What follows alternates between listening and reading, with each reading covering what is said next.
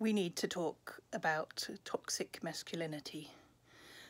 So, a lot of the time when women post things about rapes and murders that have been perpetrated by men upon women, um, somebody somewhere has to put the hashtag or make the comment, not all men.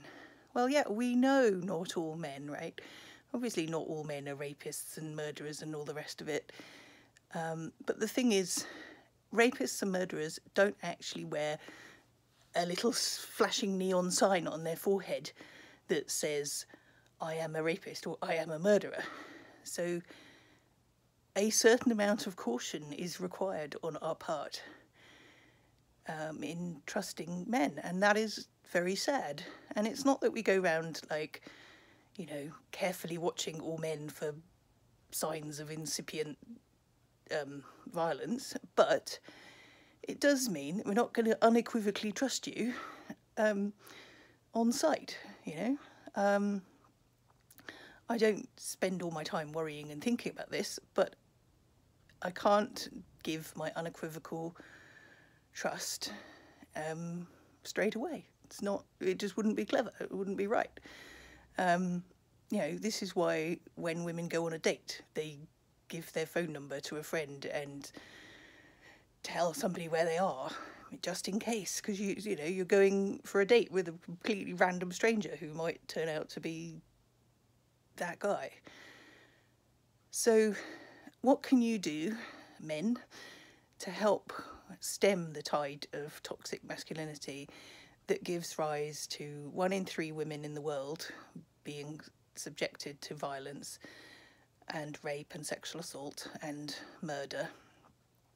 Um, what you can do is if you hear another man saying something that condones hurting women or slapping women or even seemingly harmless stuff like saying that women talk too much, um, challenge it. Don't just sort of let it slide, because the thing is, it's a known fact that um, the the very small population, uh, sorry, the very small percentage of the population that are serial rapists um, go around saying stuff like that in front of other men. And when they aren't challenged and they think you know when and when they say something like oh she needed a slap or or could give her one or grab them by the pussy or whatever um, they think that other men agree with their toxic views and this is what leads to a man going on a shooting rampage in Nova Scotia. This is what leads to some asshole deciding to shoot up a massage parlour where Asian women were innocently having a nice massage and ended up dead because a man shot them.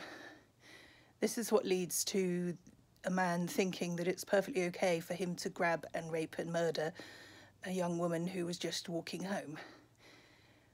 This is what leads to that murder and rape and murder of a young woman on a bus in India. And so on, and so on, and so on. And there's been a huge rise in violence, um, in male violence against women. Notice that we quite often fail to put the subject of that sentence in. It, you know, most of the violence against women is perpetrated by men. And when you think of all the, the trans women who've been murdered by men, that's toxic misogyny too. And toxic masculinity.